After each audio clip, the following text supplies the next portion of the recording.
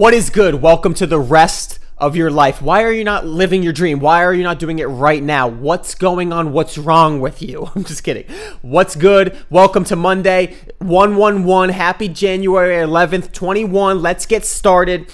Three reasons you should be living your dream, and three things you can do today, right now, to start living your dream because there's just too much life to be lived, and I want to help the world enjoy more. So, if you're used to me dunking, used to my Dunk Tip Tuesdays, you're new to my channel, this is what I love to do. All my videos are about that. Dunking is my dream. I still have dream levels to go, but I really want to help you guys, whatever that way is, to live your dream. So let's just get right into it, not waste any moments. This is also podcast form. Check it out. Let's go. Number one, how to dream. So many people I talk to, so many people I work with don't even know how to dream. I call it dream building. So, a few tips. The reason why it's so important is because if I ask you right now, what is your dream? You might say a million dollars. You might say to dunk. You might say this. But what if you achieve those, right? And now, what is the ultimate dream? What's your dream life? What does that look like on a Saturday, on a Monday, actually. I love Monday. So let's start with Monday because on a dream life, on Monday is your favorite day, like it is mine.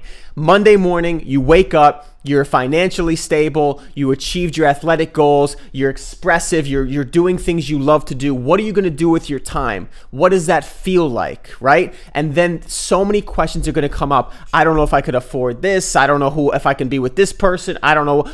Point is, questions come up and the number one thing I start with is clarity. What would you do with that free time because that will illuminate your passions, it'll illuminate what you want to do and you'll it'll bring questions up that show you you're not being true to yourself. What would you do if everybody supported you? What would you be doing if nobody supported you? If you wanted to do what you wanted to do and you broke away from people? These are the type of questions that come up when you try to build that clarity around your dream life. So it's a whole skill to to build it. It's not a one day thing. It takes time because those questions arise from your subconscious that you haven't thought about before. And that is such a huge key because I don't see people even attempting to build the dream life that they want or even understand it in their mind. And if you don't understand it in your mind, you can't visualize it, you can't feel it, you don't know where you're headed. How are you ever going to get there? And that leads me to number two habits. Habits, aka the subconscious, I just think they're such a huge key, and let's go. Habits are the keys to your routine that allow you to produce results at an efficient, productive rate, but they also teach you about your subconscious because when you start a new habit, it's like watering a seed.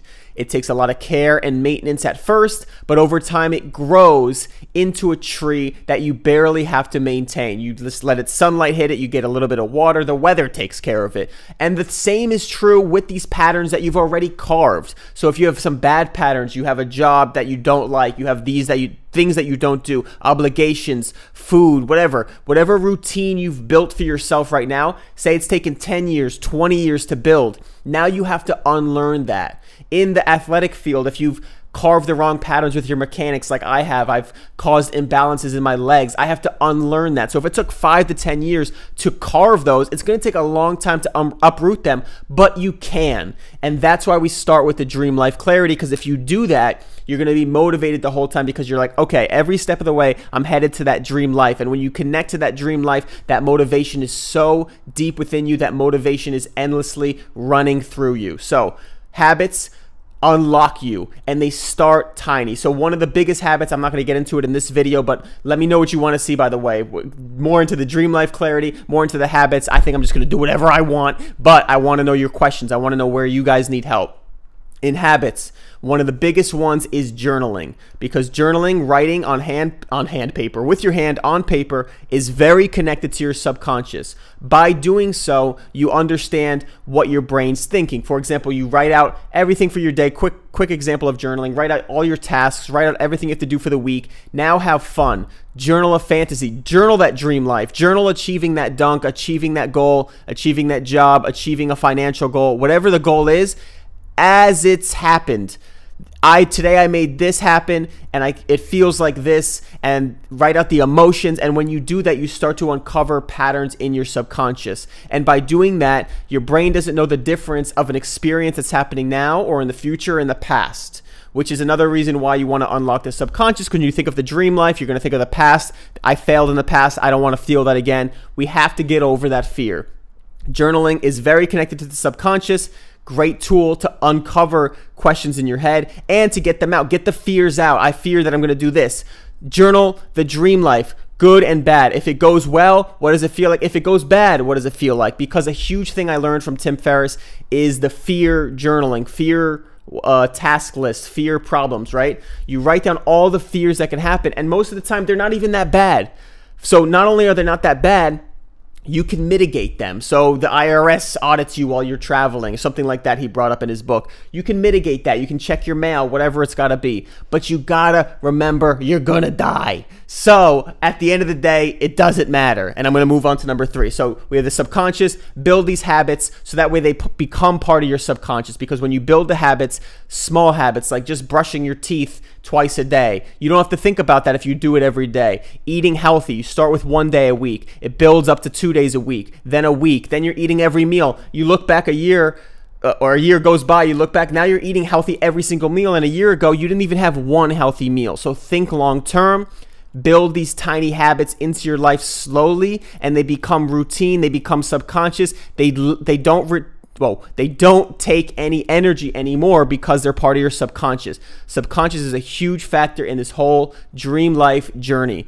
And the last one is the mindset, is understanding where you're headed and that understanding that the mindset, the positive mindset, the work ethic mindset, they're, all the mindsets are a practice. So at this moment, you're developing that mindset you need for that dream life because it's not going to be easy. There's going to be decisions you're going to have to make. You're going to have to cut people out. You're going to have to switch and uproot things, leave your job, scary moments, whatever it is. But you can develop that mindset now and you could work on it. It's not something you just get instantly. So if you can work on that mindset. So that's what the habits are good for. Get in the habit of having tough conversations. Get in the habit of stepping outside your comfort zone.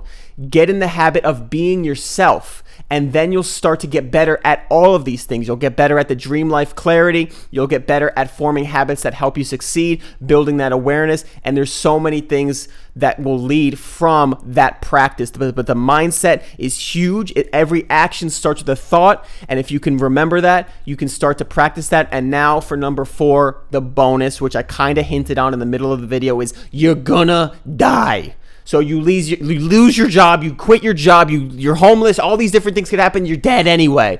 Might as well go for it. Jim Carrey said, you can fail at what you hate, so you might as well do what you love. And I'm not saying just do it because you love it, but there's so much potential out there. I was just watching a video with Sadhguru, who's a great guy that I just learned about past couple weeks. He has great talks and speeches, and one thing he said is everybody can earn a living. This little brain is is capable of so much more than just earning a living. Ants, bugs, worms, they all earn their living. They're all surviving. So what can we do with this brain? It seems like such a small thing. It's almost this is my intake, my take on it. It's almost disrespectful to use all our efforts to just do the basic thing, to just be somebody else, not be ourselves. The world needs you.